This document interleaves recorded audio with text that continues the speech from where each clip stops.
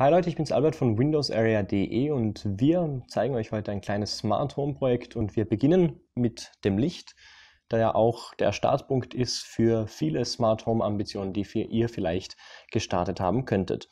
Was ich hier erworben habe, sind drei Produkte, die Windows 10 und Windows 10 Mobile zum Teil unterstützen und ich will hier ausprobieren, welches dieser Produkte eben am besten mit dem Betriebssystem von Microsoft kompatibel ist und vor allem ist das für jene interessant, die eben Windows 10 verwenden und unter Windows 10 auch Smart Home Capabilities haben wollen.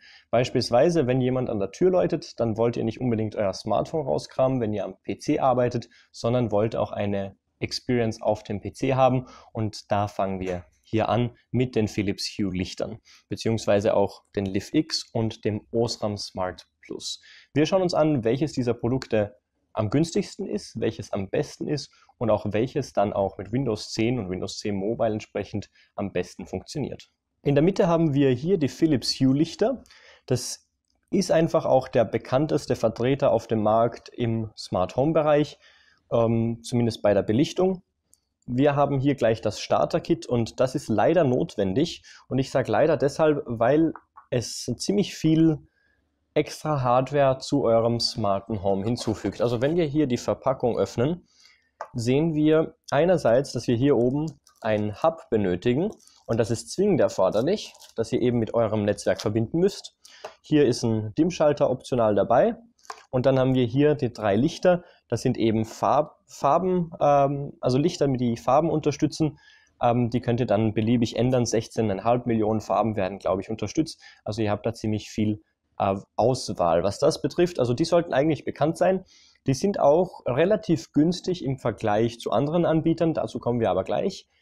Ähm, dieses Paket hier kostet normal etwa 150 Euro, allerdings könnt ihr das bei dem einen oder anderen Angebot zwischen 100 und 125 Euro erwerben.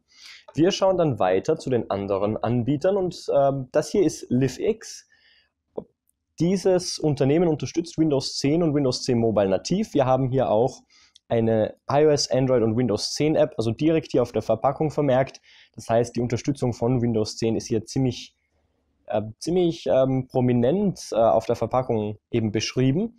Und die ist hier in diesem Setup hauptsächlich, weil es eben diese offizielle Windows 10 Unterstützung gibt und nicht irgendwie, weil sie durch Qualität oder durch den Preis vor allem bestechen.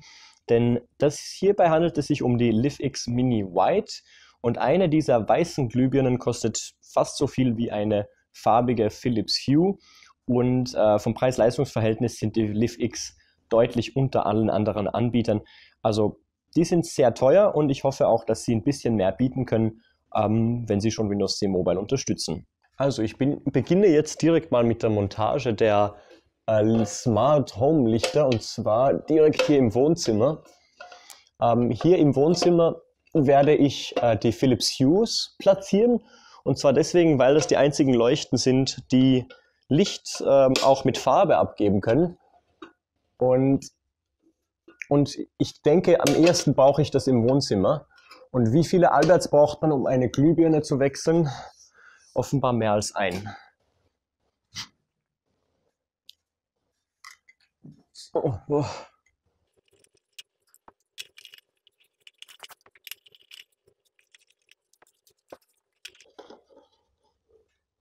So, die Lichter sind jetzt drin. Ich kann jetzt ganz einfach den Lichtschalter betätigen und es werde Licht.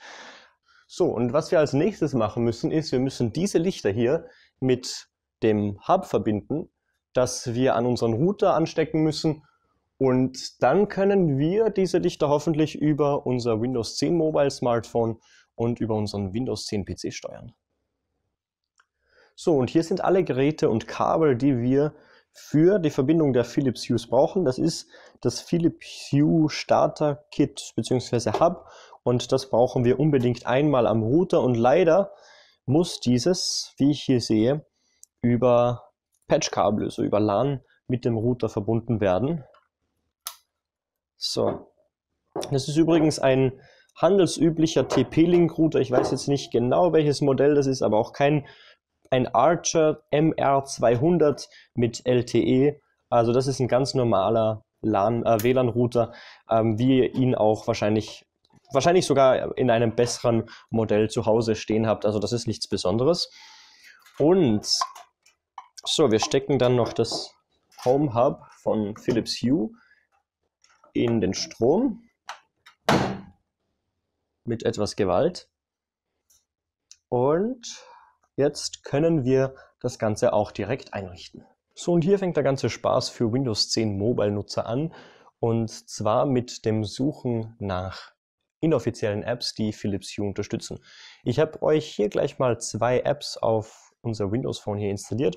Und zwar Home Remote, die es auch für Android gibt und die ist wirklich phänomenal, kann man echt empfehlen.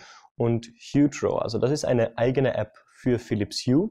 Und was wir hier machen werden, ist, wir werden einfach die ähm, Home Remote App äh, verwenden, die eine ganze Reihe von smarten Geräten unterstützt und so auch die Windows 10 Plattform einbindet. Also schaut euch das an. Hier ist eine ganze Liste an smarten Geräten, die eben hier über die Home Remote App unterstützt wird. Und wir müssen uns jetzt Philips Hue raussuchen. So, hier sind sie. Press the link button on the bridge and then click OK. Do not click OK until you've pressed the link button. So, jetzt begebe ich mich einmal zum Router und zu, meinem, zu meiner Bridge, wo ich den Link-Button drücken werde. Okay.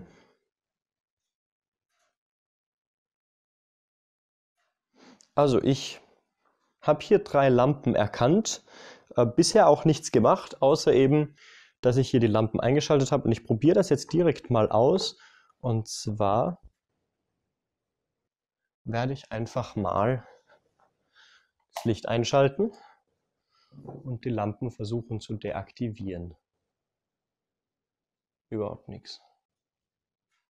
Doch, funktioniert. Perfekt.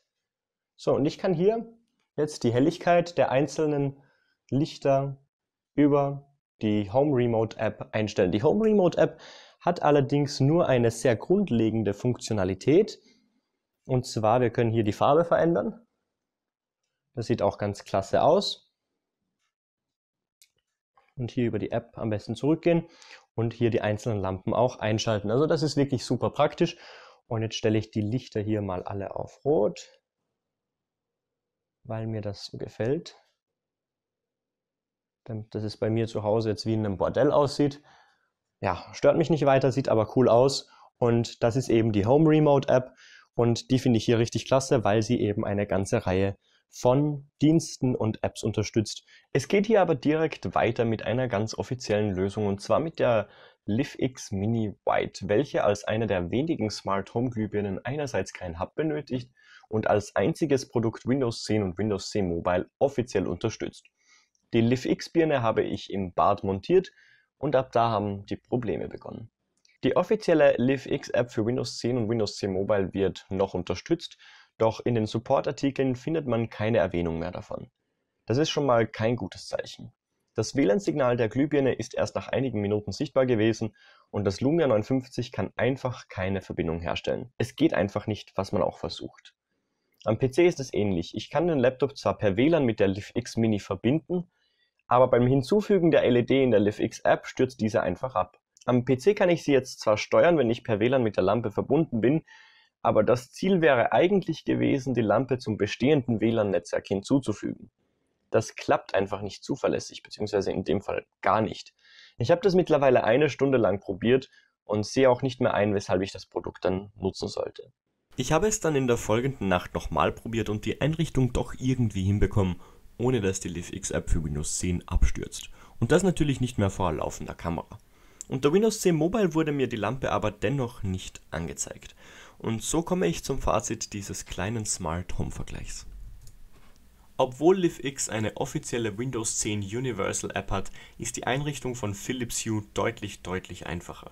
Man steckt das Hub an, man verbindet es mit dem WLAN-Netzwerk, man installiert die App, auch inoffizielle Apps werden unterstützt und man hat auch unter Windows 10 eine große Auswahl. Alle Apps funktionieren gut damit und es ist wirklich super zuverlässig. Es ist ein System, das jeder Nutzer versteht, egal ob erfahren oder sehr unerfahren. Philips Hue ermöglicht den ganz einfachen Einstieg in die Heimautomatisierung und ist daher trotz der offiziellen Unterstützung durch LiveX in diesem Fall unser Gewinner. Philips Hue braucht zwar keine extra Werbung, aber womöglich war dieser Vergleich für alle Windows 10 Nutzer interessant, die am überlegen sind, ob sie zum bekannten Riesen gehen oder dem Underdog mit der offiziellen App eine Chance geben.